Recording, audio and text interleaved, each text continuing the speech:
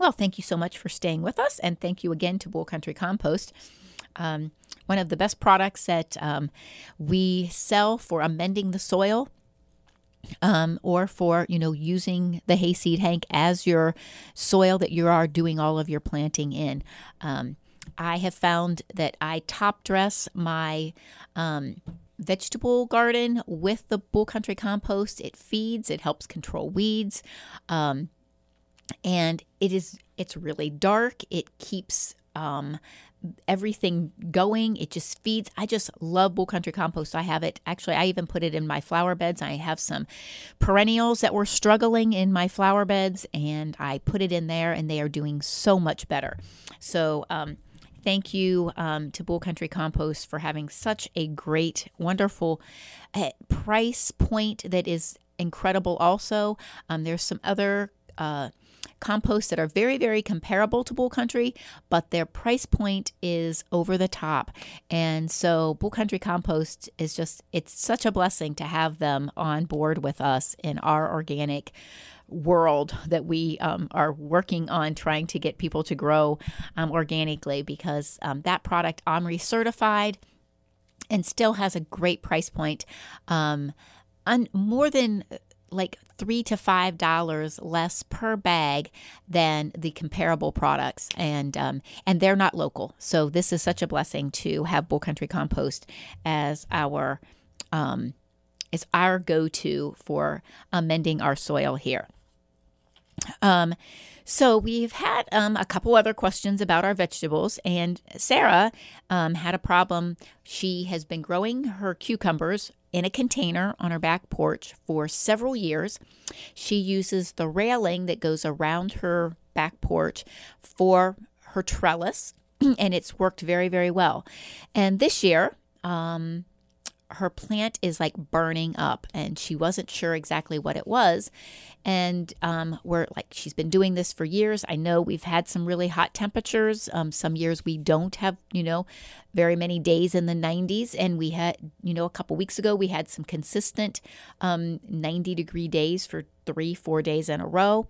Um, but then we you know started analyzing what it could be. And in her situation um, her burning bush that she had next to her porch was really, really big.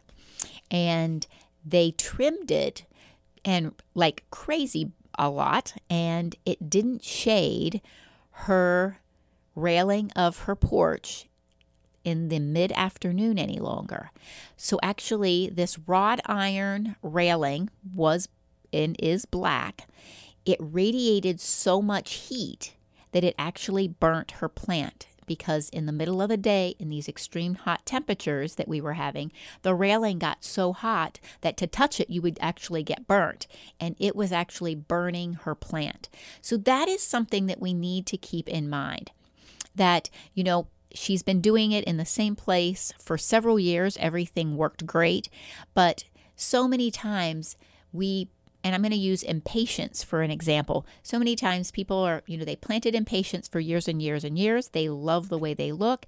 And then all of a sudden, they had to trim a tree hard or take down a tree, and they don't think about it. They put the impatiens in, and all of a sudden, they're burned up.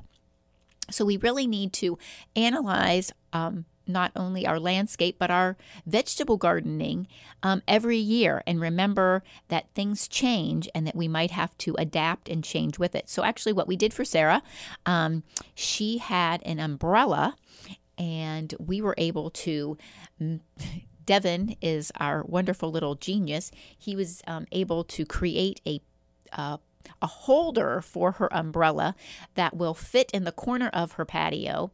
And actually shade her cucumber in the afternoon when it's really hot so that it doesn't get so hot.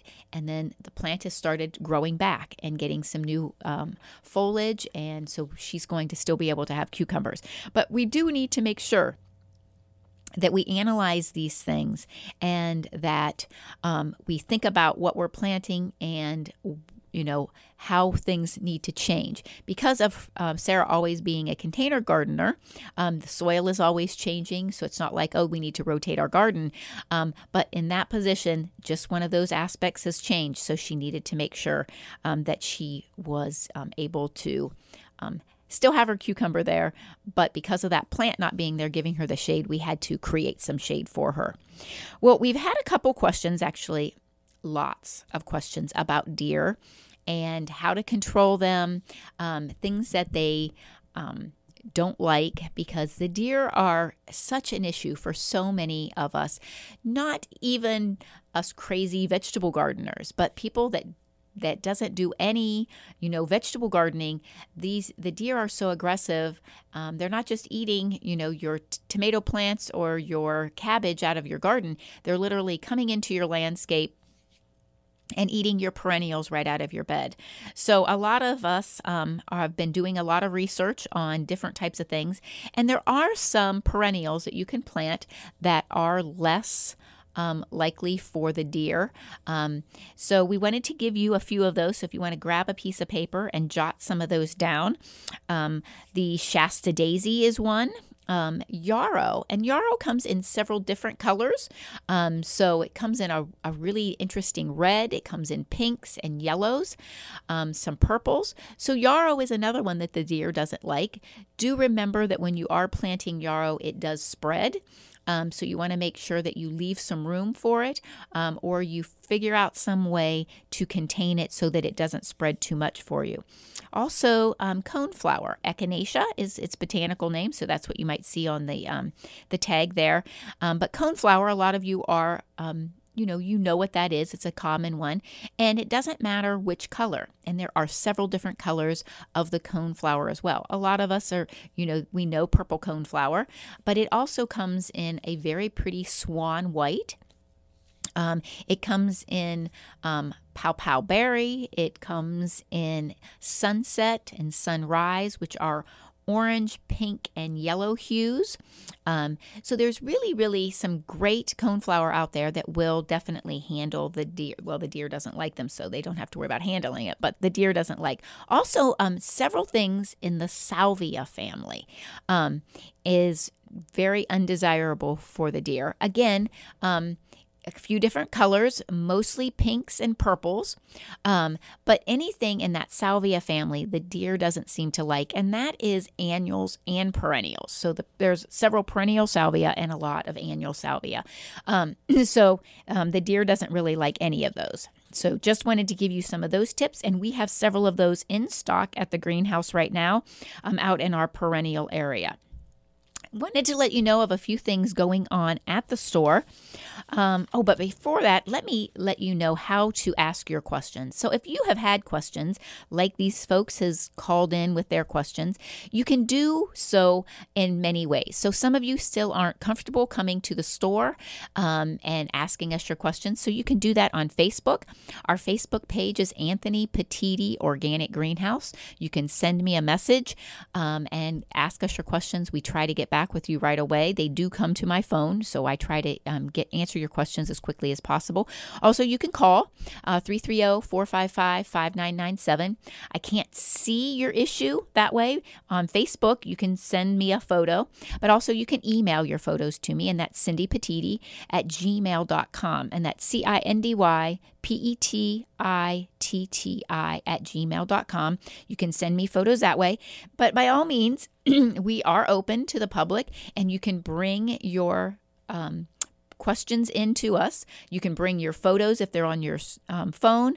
Um, you can bring a piece of your limb or your leaf if you're having an issue that way. Um, and our address is 5828 Columbus Road. We're on the corner of Columbus Road and Broadway in Nimishillen Township. So we want to make sure that you get your questions answered, and we will try to do that as well um, as quickly as we can. Now, we do have, like I said, some things going on at the store. We are going to start up some classes. We're going to keep them small so that we can keep everyone spaced out and keep our social distancing. Um, and uh, we want to make sure that we're um, you know, we have everyone feeling safe. We want you to get out and do some things, but we want to make sure that you are safe and um, that you are keeping your distance from the people that you aren't living with. Um, so we have it, um, we'll have it all set so that you can do um, the classes. Uh, you know, and, and keep your distance as well. So, the first thing that we have coming up um, is going to be Monique is going to be doing this class um, like she did. Um, we did some planter boxes um, right when COVID started. And so we had to split those classes up um, crazy um, so that people could do them because there was a huge, huge response to those classes. But we are going to be doing a doormat workshop. And so in the workshop, you'll get the mat and then the stencils that you um, that you want to um, put on your your doormat. So maybe you want to have welcome and your address, or maybe your family's initials, um, or maybe um, your anniversary, like when you were married and you. These were going to be great gifts also. So this workshop um, is on Facebook.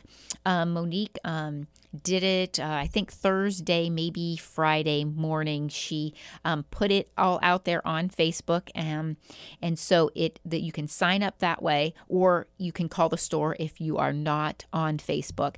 But the workshop is going to be fifty dollars, and every single thing is included. That's the mat, all the stenciling, but you are actually going to be creating it and making it yourself. The class will be at our store, um, 5828 Columbus Road, on August 4th and um, we will be doing August 4th is um, a Thursday in the evening. I'm sorry, a Tuesday in the evening, and um, we will be doing them at 6 p.m. So you can come on over to the store a little early if you want to, um, or you can get there right at 6 o'clock. Um, we will have you all spread out. Um, we will be doing that workshop. It's going to be a lot of fun. so look for that on Facebook. it will be under uh, Monique's Chalky and Company. And it will be a great um, doormat workshop.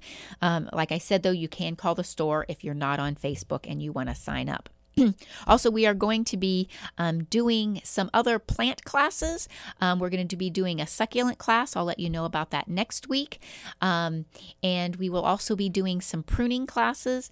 And also, um, we're going to be doing some workshops on canning. So, if you are interested in those, let us know. You can send us um, a message on Facebook um, if you are interested in those. So, we're going to be doing all of those in the month of August. we do have some canning at the store. If you are, can't find those, we do have some canning supplies as well. Well, here we are at the end of our show. I want to thank you all for being with me today. Uh, remember to stay cool and hydrated, and remember that God is good and He will see you through whatever you are going through. Thanks so much, and have a blessed week.